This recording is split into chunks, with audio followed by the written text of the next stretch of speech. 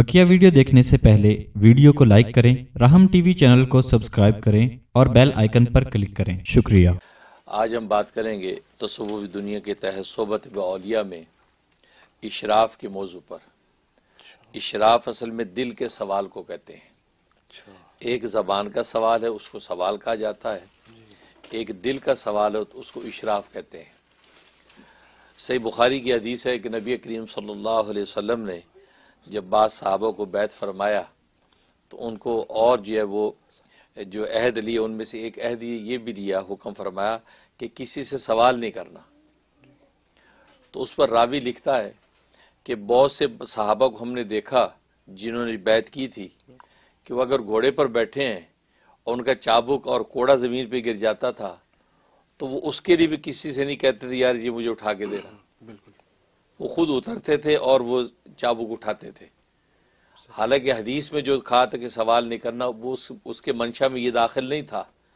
एक इतना एक्सट्रीमली जो साहबा ने इस बात पे अमल किया कि वो गिरे हुए घोड़े को चाबुक को भी उठाने का सवाल किसी ने किया। बिल्कुल। तो गोया कि तस्किए की दुनिया में ये दिल का सवाल हो या ज़बान का सवाल हो इसकी कोई गुंजाइश नहीं है।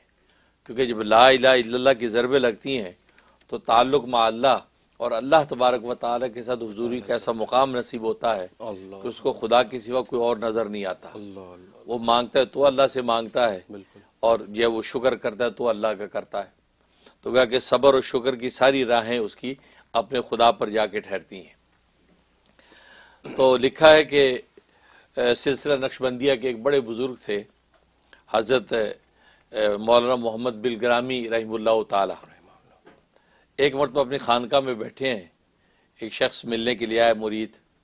देखा कि हज़रत के चेहरे से ऐसा लग रहा है कि जैसे कुछ फाका है कि हज़रत के तीन दिन का फाका गुजरा हुआ था चेहरा जर्द था और नकाहत महसूस हो रही थी आवाज़ में भी पता चल रहा था। जब वो मुरीद मिला तो उससे देखा कि हज़रत आप खैरियत है तबीयत ठीक है? कहता ठीक है। कहा कि हज़रत आपको बड़ी नकाहत महसूस हो रही है आपके चेहरे से भी। कहा कि हाँ बस। अल्लाह की मशीयत कि तीन दिन का फाका है। इसलिए ये कैफियत है। तो उसने कहा अच्छा अच्छा अच्छा ठीक है। ये बात कही। थोड़ी देर बैठा थोड़ी देर के बाद उठ के चला गया। चला गया। अब हज़रत के दिल में ये बात आई कि जो है ये खाना लेने गया होगा। क्योंकि ज़ाहिर है कि अभी बात उसकी हुई है तो चला गया वो। थोड़ी देर के बाद खाना लेके आ गया कि हज़रत ये आपकी अब हज़रत ने सोचा कि ज़बान से तो मैंने सवाल नहीं किया लेकिन दिल के अंदर तो मेरे ख्याल आया था कि ये खाना लाएगा क्योंकि उसकी मेरी सूरत हाल देख रही थी अब खाना ही लेने गया होगा तो कामन सेंस यही है। तो ये दिल का सवाल हो गया इशराफ हो गया। और इशराफ की भी गुंजाइश तस्कीर की दुनिया में नहीं है। तो हज़रत फरमाया कि भाई मैं खाना नहीं लेता मुझे ज़रूरत नहीं है। अगर नहीं हज़रत आपको फाका है और आप जो भूखे हैं और नकाहत है आप कबूल का कदर नहीं। इसलिए कि मैंने ज़बान से तो किसी से सवाल नहीं किया तीन दिन गुजर गए। और अभी जब तूने मेरे हवाल पूछे और मैंने बता दिया तुम फ़ौरन जब उठ के गए तो मेरे दिल के अंदर ये बात आई कि ये खाना लेने गया होगा। तो इशराफ हो गया मेरे दिल में दिल का सवाल पैदा हो गया और इशराफ की भी चूँकि तस्कीर की दुनिया में गुंजाइश नहीं है। क्योंकि अल्लाह से निगाह हट गई और मैंने तुझ पर एतमाद किया कि तू खाना लाएगा। लिहाजा ये खाना मैं नहीं ले सकता ले जाओ। उसने इसरार किया नहीं, हज़रत कबूल कर लीजिए हज़रत आपकी हालत देखिए। कर नहीं नहीं नहीं, ले जाओ। ठीक है, हज़रत आपकी मर्ज़ी। ये कहा और मुँह सा बना के खाना उठा के चला गया। जैसे वो चला गया तो हज़रत मुतमिन हो गए। थोड़ी देर के बाद आ गया। क्या हज़रत कबूल कर लीजिए। कहा, मियाँ, मैंने मना तो कर दिया था, नहीं, मुझे नहीं चाहिए, क्योंकि मेरे दिल में इशराफ आ गया था, इसलिए मैं कबूल नहीं कर रहा। फरमाया कि जब मैं दोबारा ले गया था अब तो इशराफ नहीं था। आप तो समझे कि मुझे नाराज़ होकर ले गया अब तो नहीं था कहता अब तो नहीं था। कहता बस आप कबूल कर लीजिए। माशा बिल्कुल।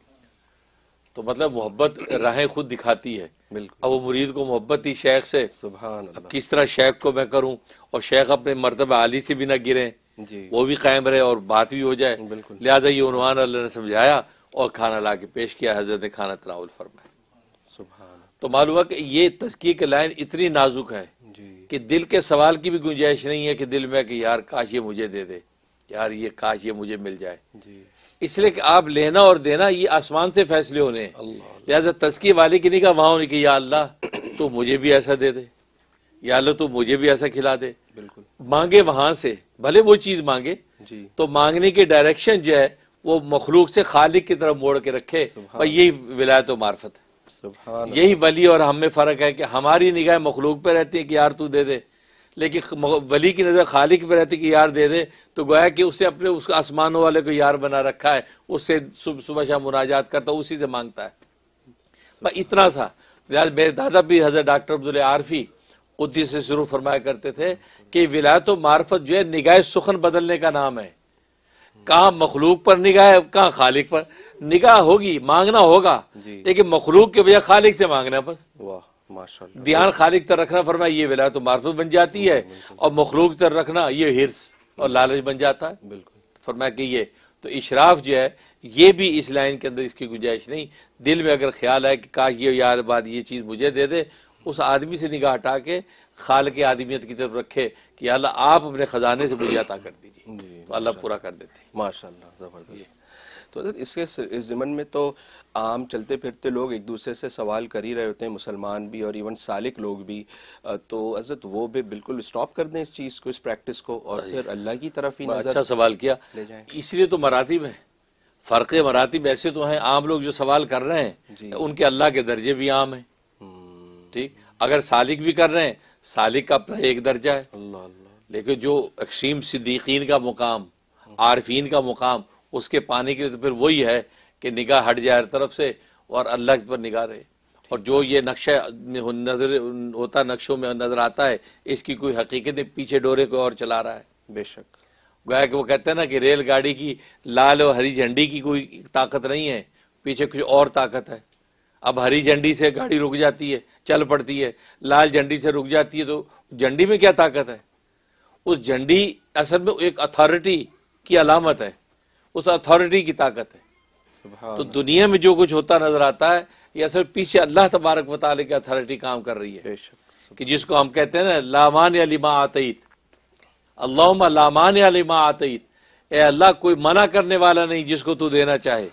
वाला मोत अलीमा मनाता और कोई देने वाला नहीं जिसको आप मना कर दें। अल्लाह अकबर ये वो हकीकत है ईमान की। तो लिहाजा नबी पाक सल्लम वसल्लम इस दुआ को हर नमाज़ के बाद पढ़ने का एहतमाम फरमाया बुखारी की हदीस है। यही हकीकत कि नमाज़ से हम यही हकीकत सीखते हैं कि बस सारी देने और लेने की डोरें अल्लाह तबारक व ताला से चलती हैं। सुभान अल्लाह ये है। बेशक।